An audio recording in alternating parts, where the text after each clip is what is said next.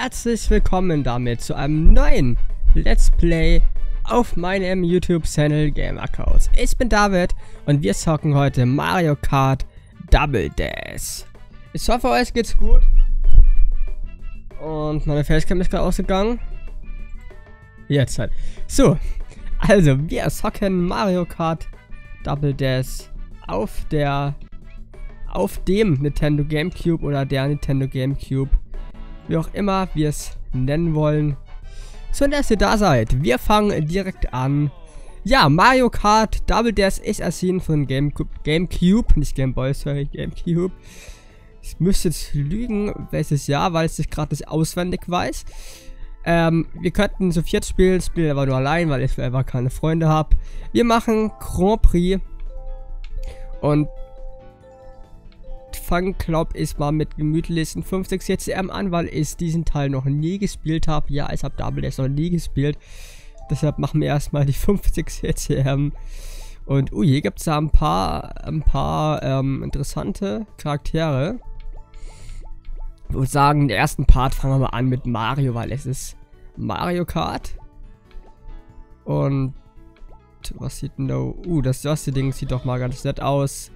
Wir nehmen das. Es gibt hier drei Cups bis jetzt, den Mushroom, den Flower und den Star Cap. Wir fangen an mit dem Mushroom Cap. Und ich würde sagen, los geht's. So, ich hoffe, ich bekomme das einigermaßen jetzt hier hin. Das werden wir sehen. Aber ich bin da eigentlich relativ zuversichtlich, dass es klappen sollte.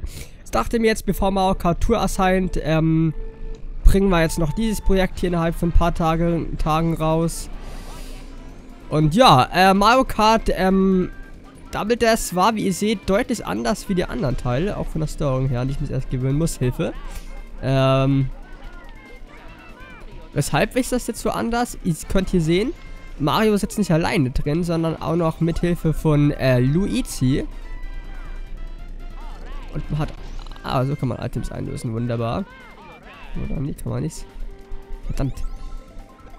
Wie kann man die Items einlösen?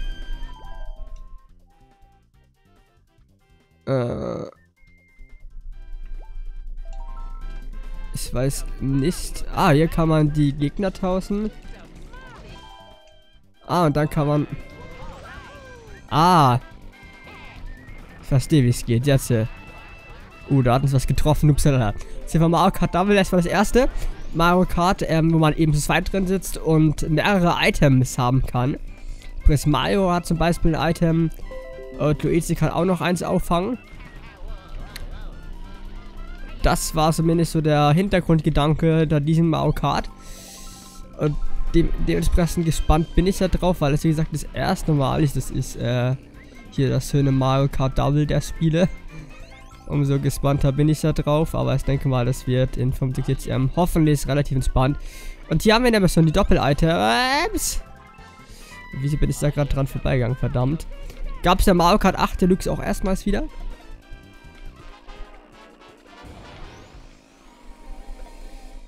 So.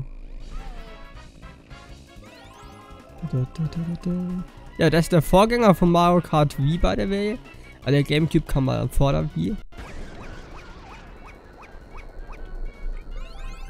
Aber das wisst ihr schon, das braucht euch Nintendo-Veteranen ja nicht mehr zu erzählen. Wie gesagt, habe den Teil noch nicht gespielt, das heißt, kann nichts dazu sagen, inwiefern krass dieser Teil hier irgendwie äh, Betrug ist oder sonst was. Das weiß ich nicht. Ob in dem Teil hier viel Betrug drin ist. Ich würde es mal denken, weil irgendwie Mario Kart, gerade die Elternteile sind alle gefühlt Betrug, aber bis jetzt erste Runde ging aber easy. Hater würden sagen, klar, Mimi, 5. GCM ist weiß, aber wie gesagt, habe das noch nie gespielt, deshalb bin ich da eigentlich ganz froh drüber. Bin mal gespannt, ob man das vor Mario Kart Tour tatsächlich fertig bekommt. Ich weiß es nicht.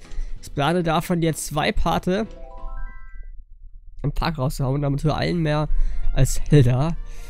Hashtag, ich weiß, das ist, äh, ganz ein Uf.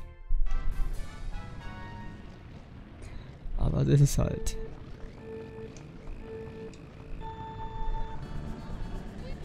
Das ist eine sehr schöne Strecke, die ich glaube ist von dem Vital noch kenne. Die ist ja Super Mario 64, äh, Super Mario Sunshine Style.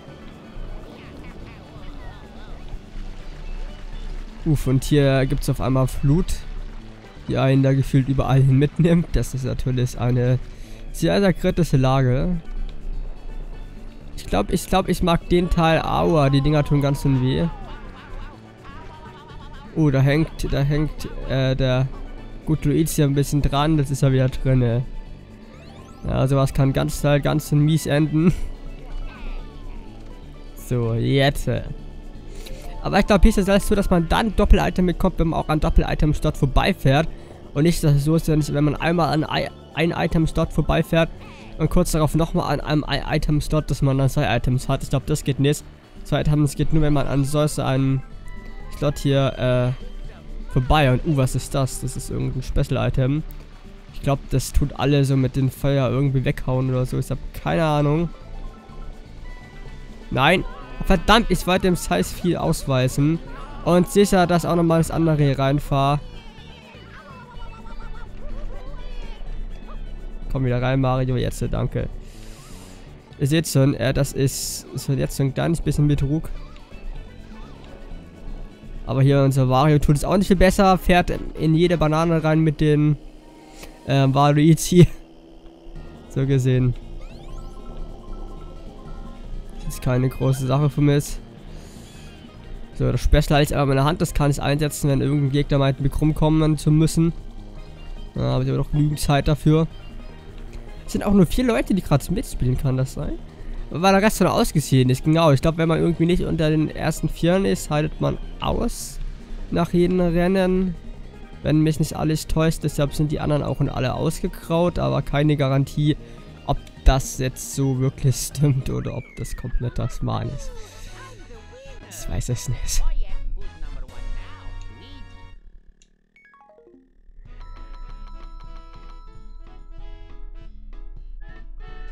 Aber das war doch sehr erfolgreich Mal, dass wir den ersten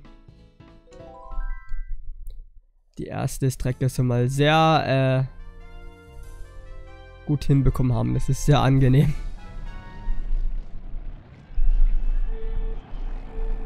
Also die ersten beiden sogar schon.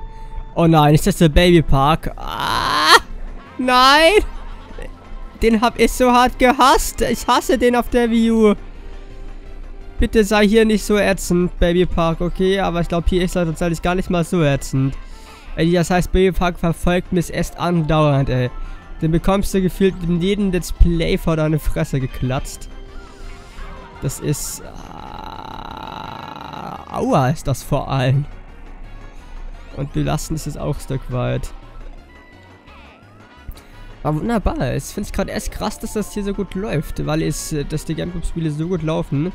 Ihr dürft das in Fullscreen jetzt sehen und zwar in UHD. Äh, weil aufpolierte Grafik. Habt da krasse 4K-Settings-Grafik sogar drin. Ähm, dass die krasser aussehen und das dürfte, müsste, sollte eigentlich funktionieren. Und das freut mich. Ist dann über ein Emo doch irgendwie ein bisschen angenehmer von der Bildqualität her, als wenn man es über ein, ähm, als wenn man das irgendwie über ein, ähm, über die Originalkonsole nimmt und die dann an einem Konverter anschließt. Das habe ich seit meinem N64 Let's Play schon gemacht, die ich so habe. Funktioniert schon, ist aber nicht so angenehm. Da ist so, so ist das Fuck. Da ist sowas wie bei den Emos und irgendwie deutlich angenehmer.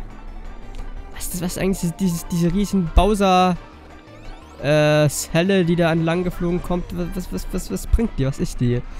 Die macht mir nämlich erstmal ein bisschen Angst weil ich die gefühlt nicht auf die Fresse bekommen will. Das war ganz ein Auer hier. Und ich hoffe einfach, ich will Erster werden. Ich will allen Rennen Erster werden. Zumindest im ersten Cup M50 CCM muss es so sein. Alles andere ist einfach mehr als du peinlich. Sagen wir so. Und ich weiß nicht, wie viele Leute ich gerade überrundet habe. Das müssen viele sein. Aber ich hab's geschafft. Yay, ich bin wieder Erster geworden. Uff. Wunderbar.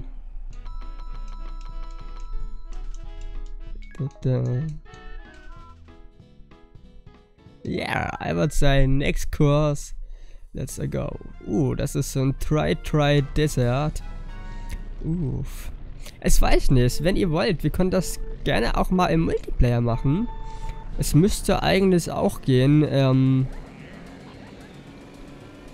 Ich glaube, Multiplayer haben bestimmt auch Verso-Rennen und so Zeug zur Auswahl, weiß nicht. Ähm, vielleicht mache ich es mit einem guten Center nochmal irgendwann im Multiplayer-Aua-Part. Das weiß ich noch nicht. Könnte man es überlegen. Aber so die normalen Strecken mache ich erstmal Singleplayer durch. Weiß, weiß nicht, ob ich unbedingt Multiplayer machen muss, bei dem das Baby Mark hat. Wir auch nicht. Und was ist denn das da für ein Ding? Die Strecke ist ja jetzt eine AIDS pur. Und zwar komplett, ey. Uff. Naja, aber ich bin da gute Dinge. Ich hab dann bald die ganze Mario Kart 3 Cells und durch. Ich hab den... Ich hab den... Gut, die Mute habe ich jetzt nur halber, da wird es ein Reloaded geben. Das steht ganz klar fest. Ähm, sonst habe ich es halt... Jetzt habe ich Da fangen wir mal chronologisch an. Den SNES-Teil habe ich halber, den ich jetzt nochmal ganz machen. Den wird es dieses Jahr auch noch geben. Ähm, dann kam SNES, dann kam glaube ich der Gamecube-Teil, Gameboy-Teil, der fehlt mir noch. Den habe ich noch nicht. Gamecube mache ich gerade. N64 habe ich schon. Wie habe ich schon? DS habe ich schon. 3DS habe ich schon. Wii habe ich schon. Switch habe ich schon. Ja, ich glaube, mir fehlt erst dann nur noch der Gamecube-Teil so richtig eigentlich. Gut, ein SNES-Teil will ich nochmal machen. Aber ist nur halbart. Habe es, da fehlt mir SNES und Gameboy fehlt mir noch, aber sonst habe ich eigentlich alle. Gameboy ist auch der, was schauen muss, wie ich das irgendwie mit aufnehmen mache. Aber es war ein schöner Emulator. Allerdings ja, kann man da nicht so einen schönen Controller anschließen wie hier. Was die Sache dann nämlich so ein bisschen kritischer macht. Da muss dann dementsprechend mal schauen, wie ich das am besten irgendwie handhaben werde. Mal sehen. Auf jeden Fall bin ich dann voll happy, wenn mir dann nicht mal krass viele Mario Kart Ableger voll fehlen. Und dann nächste Woche geht es ja auch in Mario Kart Tour los. Ist dann wieder ein bisschen Mario-lastiger hier, wobei jetzt natürlich auch Zelda im Programm, ganz klar. Zelda wird eh das nur Mini-Projekt jetzt, weil ich gerade Zeit habe, lul, doch Lust habe. Ich meine, Zelda ist da eh das Programm, was, äh, das, das, das Haupt-Let's äh, Play, was hier derzeit auf dem Channel läuft, nach wie vor. Und da wird jetzt auch das nichts mehr dran ändern, uff. Nope, das war nicht so gut von mir. Du nimmst dich mal nicht mit, das heißt Wirbelsturm, verstanden. Äh, immer habe ich jetzt einen einigermaßen Statlisten. Fuck. Vorsprung.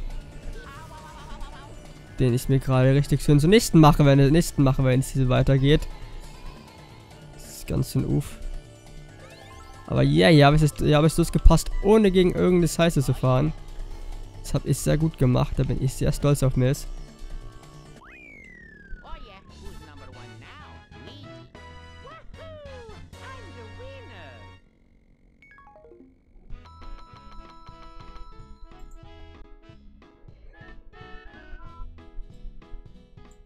Yay, das habe ich sehr gut gemacht.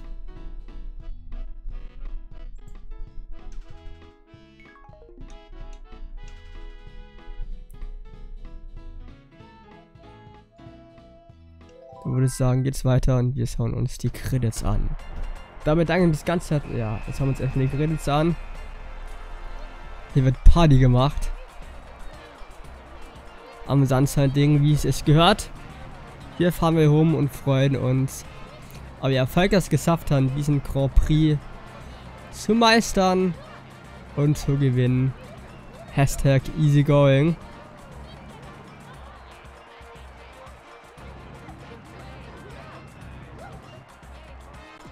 Ich finde das voll schön gemacht.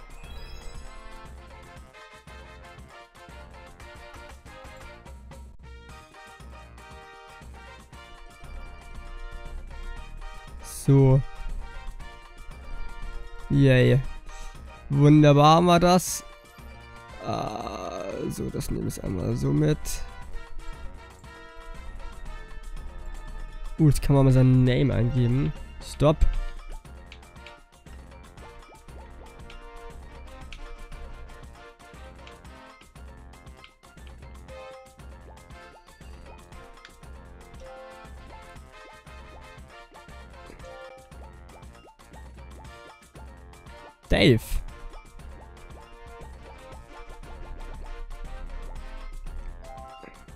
Das ist eine krasse äh, Abkürzung von meinem Namen, aber immerhin. Es geht doch. So, Safe and Complete. Das mag sein, dass es da gesaved ist. Es muss bei mir noch ein bisschen safen.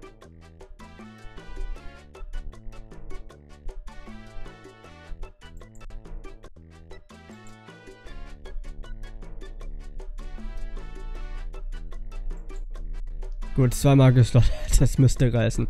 Uh, hier haben wir so ein neues Dingsterbumster hier freigeschaltet. Das ist wunderbar. Ja, wie es weitergeht, das sehen wir im nächsten Part mit dem nächsten Cup. Macht's gut bis dahin. Bis zum nächsten Mal. Und ciao.